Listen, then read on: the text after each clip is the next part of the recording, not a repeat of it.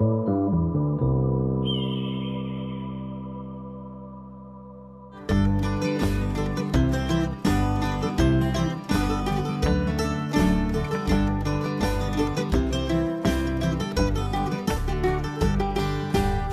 forgive us for what we must do. You forgive us, we'll forgive you. We'll forgive each other till we both turn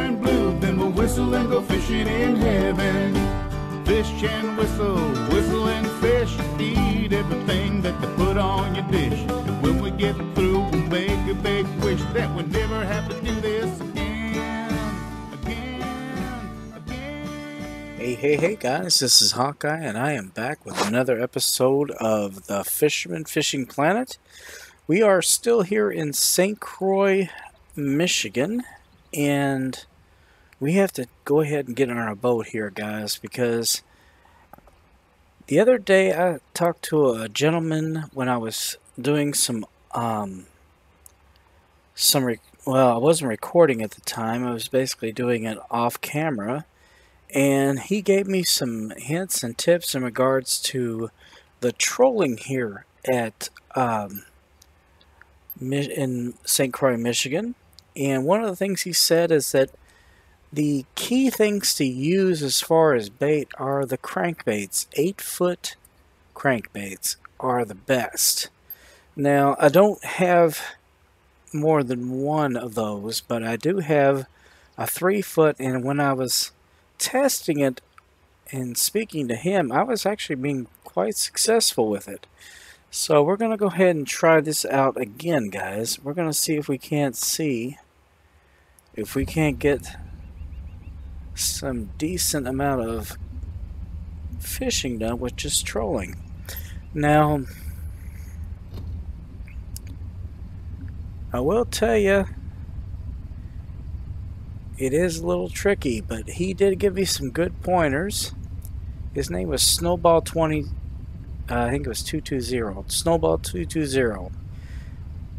Guy gave me a lot of good advice. He said he's been doing a lot of trolling in the game. Actually, he was really interested in the game as a result of my trolling videos that I did which really made me feel pretty good, on good. So if he discovered this as far as when he was trolling around here, I would take his advice at heart. So thank you very much, Snowball220. I appreciate your help. So I have definitely given you a shout out. But what we're going to do is we're going to get over here to the King of the Green Bay. I think that's what that's called. Always get that mistaken, but we're going to start trolling here and based on this particular day and it's a cloudy day cloudy days are one of the worst unfortunately but we're just going into a peak here we're at 3 p.m. approximately, and 5 p.m. is the peak. 5 and 6, I guess, somewhere around there. So we're going to see what we can do here, guys. Originally, I was going to do a video on catching unique northern pike, which I managed to catch here. Apparently, that's pretty tough, but I did catch one. But trolling is kind of a little bit different off the wall, so to speak. Some people like it, some people don't, but I think since it's available in this game, it needs to be checked out because it is an alternative way of fishing, and I think we need to explore a little further. I've done this in every other location where you can do some trolling. I think this is one of the places that needs to be looked at real close. So, what I'm going to do is I'm going to go ahead and stop things here. I'll go ahead and put out my anchor anyway, just to make sure.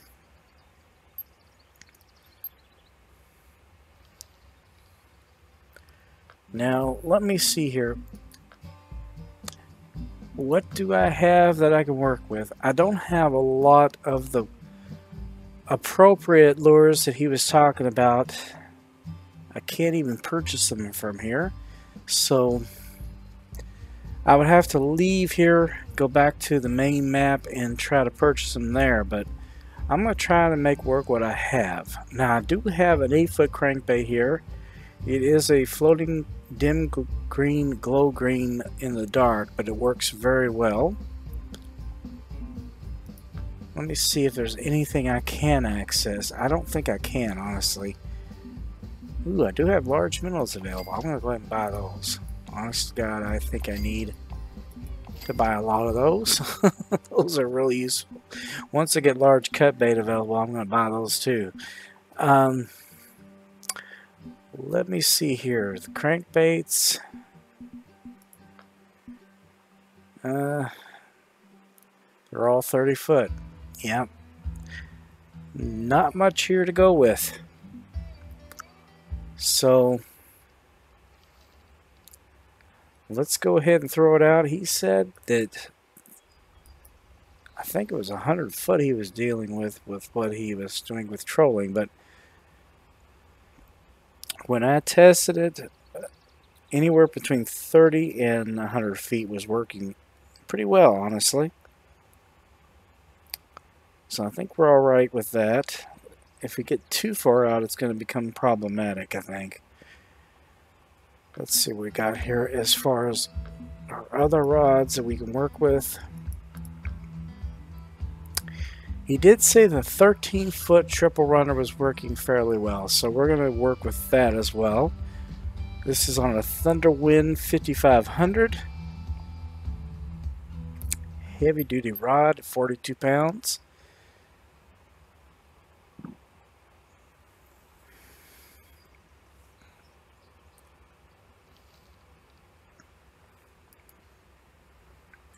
I'm going to toss that out a little ways. And he did say the best thing that you could do is just try to do a few passes. He said the peaks really didn't seem to matter.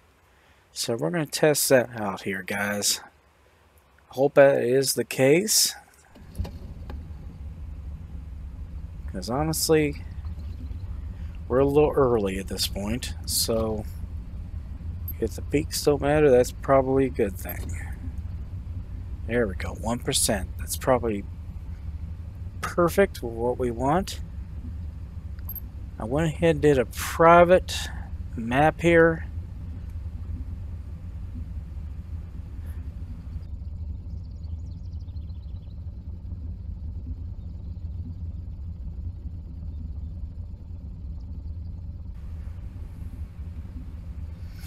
Now right up here, you'll see a marker. This is a good spot for clear muskie.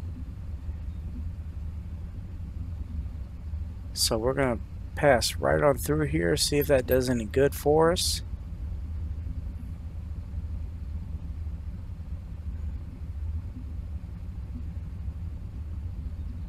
You'll know right away if we got something.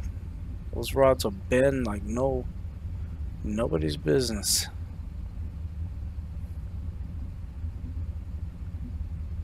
So far, nothing.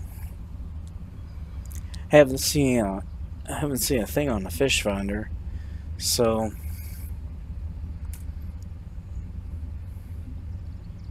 probably par for the course.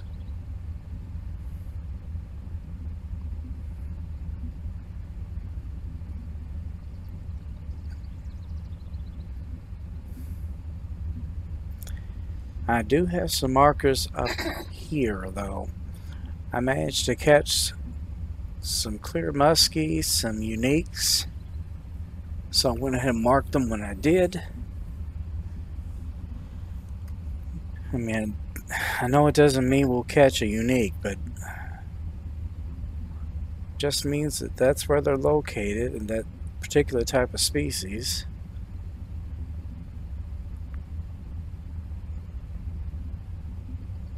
so far things are quiet. So what we'll do is we'll skirt the outskirts of this entire bay until something decides to bite.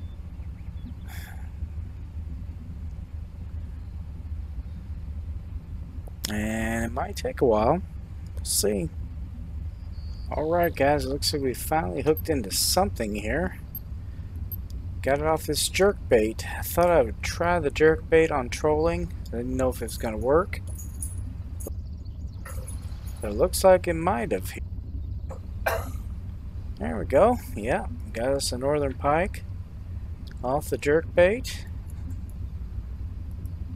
We're starting to go into the peak period, so we might actually see a little more activity here, guys.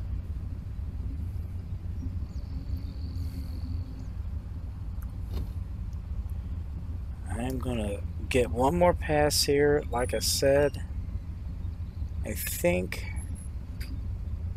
I want to see just how well this does. And if anything does hold off, I will go back to the main menu and see if I can't pick up some more lures that I can't get here. Because the 8 foot crankbaits, I can't find them here. 30 foot's all they've got.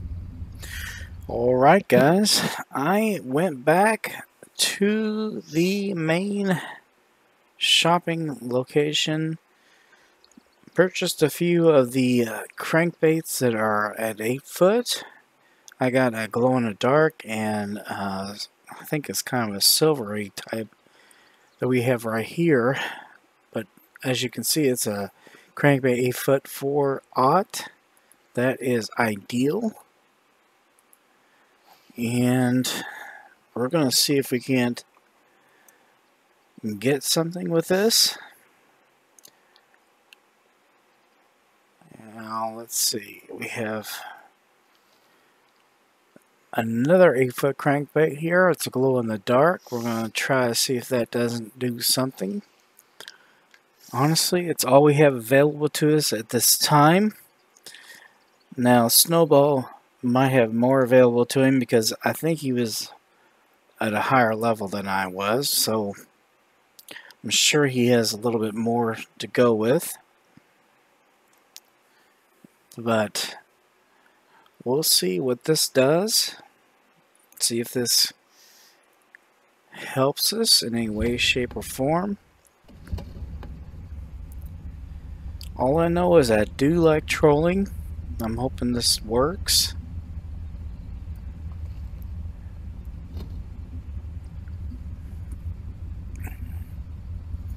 I don't know that we'll get any uniques or trophies, but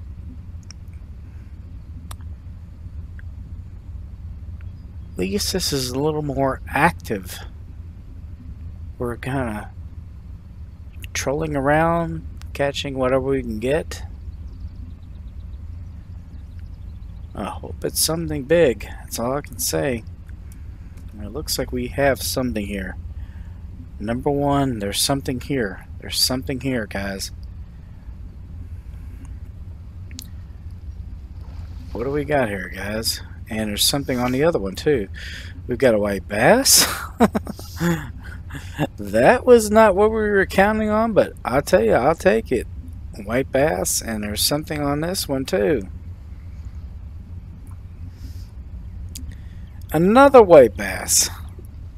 Well, at least they're biting. That's pretty cool.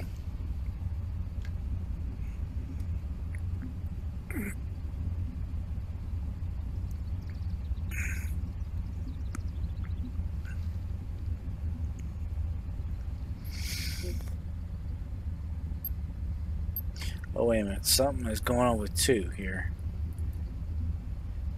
We have something on number two.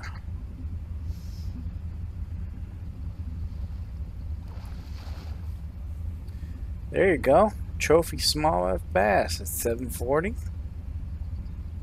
And we've got something on number one now too. We'll keep that.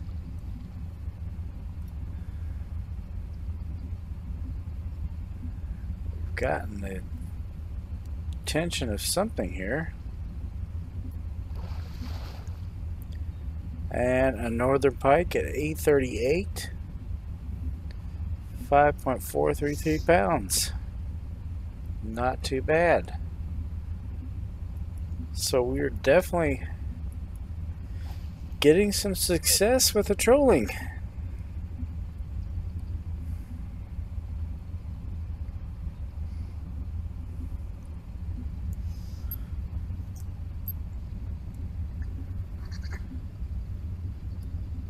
There we go. We got something on number one. This is 8 foot crankbait glow in the dark.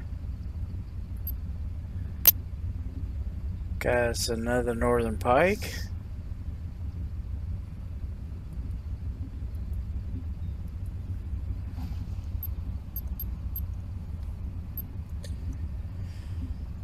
Alright, we're getting a lot of activity here on this fish finder here.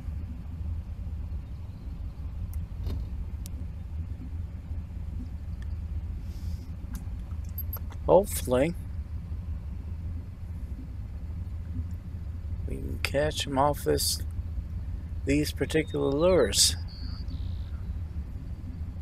Oh shit! There we go. There we go. We are. We've got something here. Come on. Well, whatever it is, it's big enough that it's moving us. Holy crap.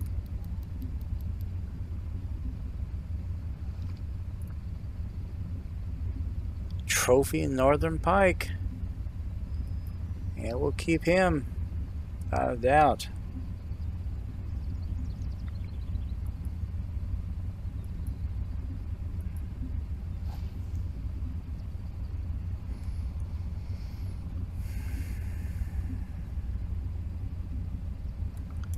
else. He was so damn strong, he moved us all the way over here.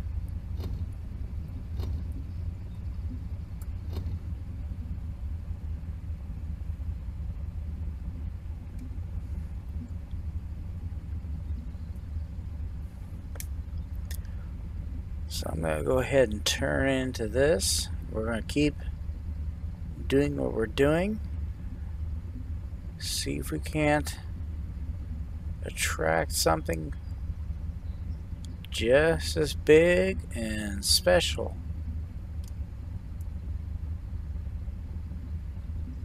Alright, wait a minute. We got something on one here. There we go. Finally, something of significance. What do we got here, guys? Northern Pike. Uh, he's not trophy, but 1510. That's pretty close. Pretty close to trophy.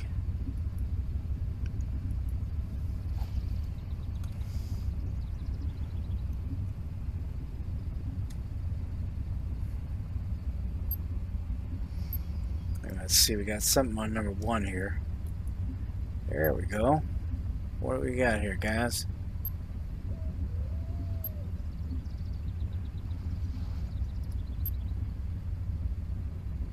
Got white bass again.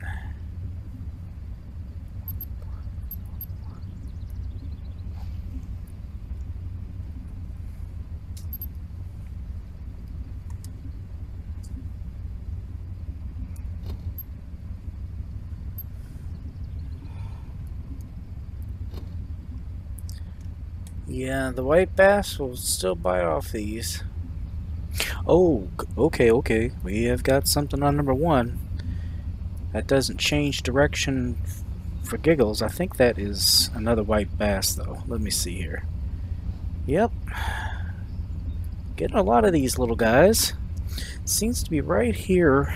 If you look on the side here, right around here, we're getting a lot of the white bass. That might be important to note for future reference if we're going to try to get a unique one. But I have a feeling that we're going to need to be offshore or maybe just fishing from the boat instead of trolling. Let's see if we can't get this thing up and going again here. Let's go about 2%. Yeah, I hope I sound good, guys. This is a this microphone is a little bit different.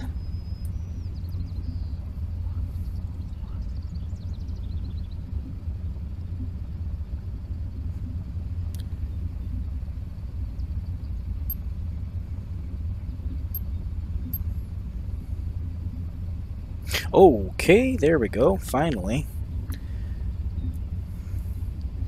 Now this is clear musky territory. I kind of hope that's what we got here. Looks like a northern pike, though. I'm not complaining. I'm never going to complain about a northern pike. Trust me on that one. Just right over there is where the clear muskie are found just off this dock. It's where I caught my first unique clear.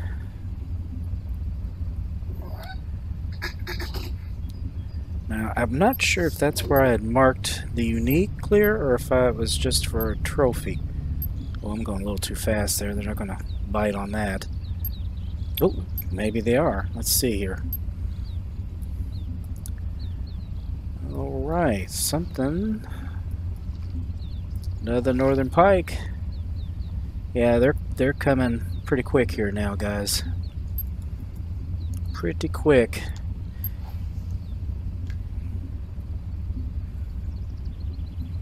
Once we got ourselves a pattern, and I think that's really the trick, is getting yourself a good pattern of traveling with the trolling. We're going to keep doing this. And I think in the next episode I might try to do some trolling out on what is represented by Lake Michigan. There we go. Damn, they're one after another now. I think we got us a yellow perch. Okay, we haven't got one of those yet. Damn, talk about ambitious. Look at the daggum bait is as big as he is. they all they are they're very uh, ravenous little guys. I've fished for them many times in real life and they are just that. They are a lot of fun to catch and to go for pretty much anything. Yeah, they're in the same family as the walleye. Let's see, there's the walleye, the sauger, and the per yellow perch. I think there's a there's others, but I don't remember all of them. But those are the most well known. Well, of course, Zander. Zander's in the same family.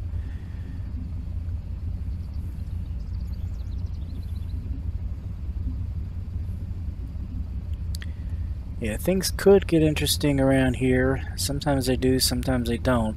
I'm just really trying hard, there we go, to get as close to those reeds and things as I can, because that's where these guys are going to be. There you go. 1238, that's not bad.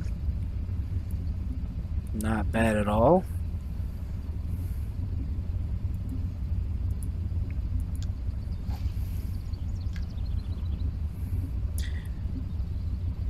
Yeah, I don't know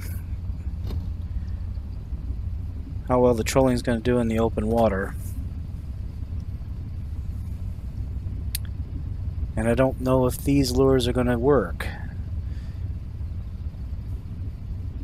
Like Snowball said this area, but when I was at Moose Lake, the salmon went for it really well.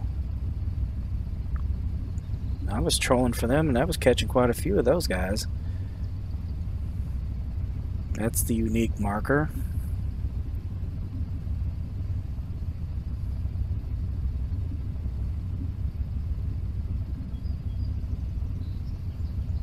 Come on.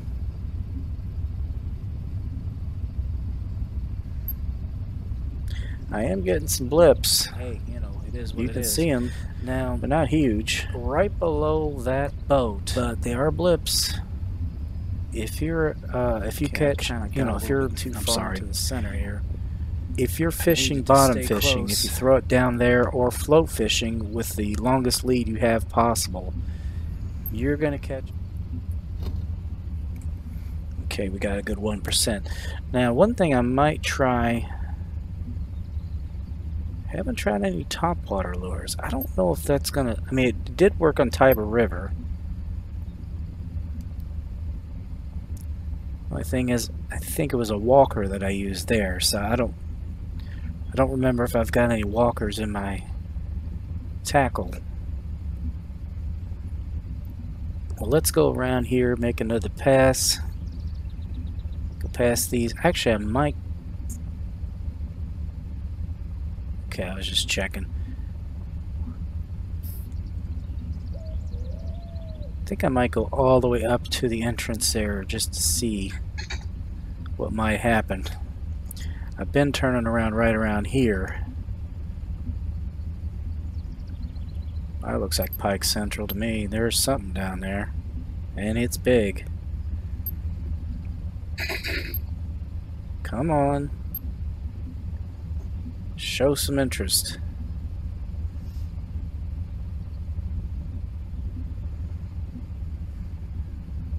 Yeah, we're going to go a little further this time. I'm just going to test this out here.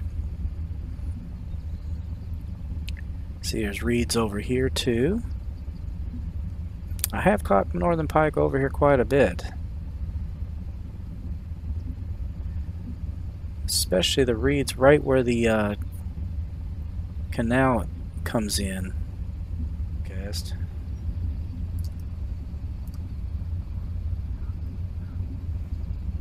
Probably white bass. I get I do get a lot of white bass over here.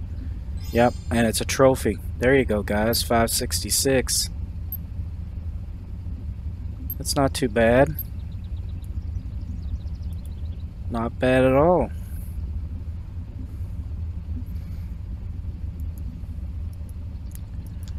Alright, I'm going to throw this back out. I think we're going to make a return trip back, and that might have to be our final pass. But after this, I think what we're going to do in the next episode, I think we're going to try to do some trolling out there in Lake Michigan. I might get the crank, the bigger crankbaits, the ones that go down 30 feet since it's so deep. And I'd like to try to do some passes in the center of the lake. If you look here, and we'll zoom out a little bit, but there are some deep spots that might be worthwhile passing over with the really deep crankbaits. Anyway, let's get this finished up here, guys. Obviously, you've seen it. It is profitable. It's different. I mean, you can get out here and do something other than just casting from the side or casting from your boat.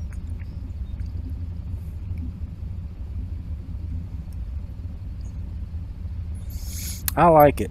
I like it. And it took me a little, you know, I mean, it took Snowball's help to make it a little bit more profitable. I had tried it before, but I didn't really, I was just testing all kinds of different lures. I wasn't really using anything but three foot crankbaits, which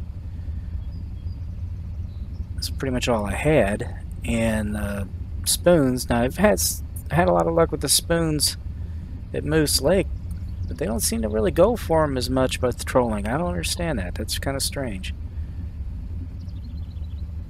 And we've got something. And we got something of significant size.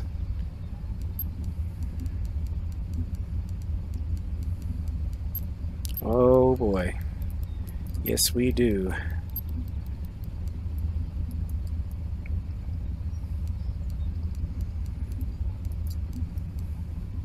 May have spoke too soon, guys.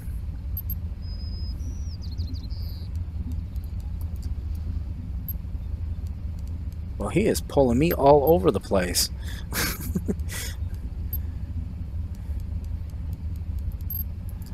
Come on, big fella. Let's see what you are. No, he's just a regular northern pike, but he's a decent sized one. 1336. It's not bad. Of course, now we're all twisted up. we're gonna have to do some finagling here. Hold on.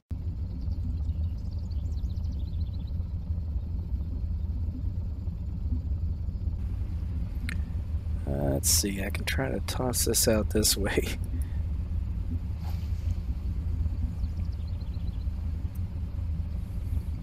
Okay. Damn, he literally pulled us all the way over here. There we go. Yeah, we're going to have to kind of straighten things out a little bit here.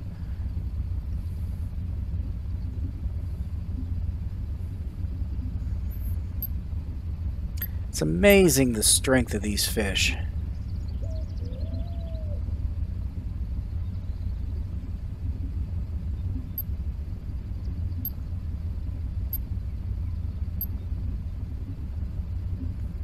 There's a lot of blips.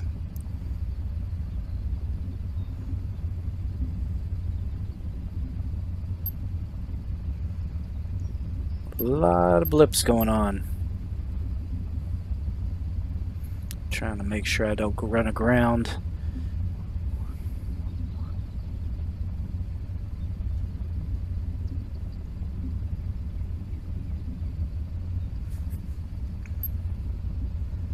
Stay as close to that as I can. I don't know about the first one. I'm looks like it's jumping a little bit, but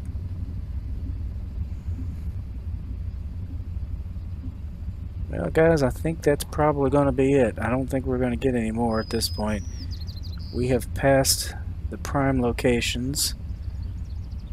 But we did pretty good. We did pretty good, honestly. Anyway, guys, I hope you enjoyed that episode. Please be sure to share, comment, like, and subscribe. And I will be back with another episode of The Fisherman Fishing Planet. So until then, guys, as I always say, aim straight, cast far, and have fun. I will see you later. Bye bye.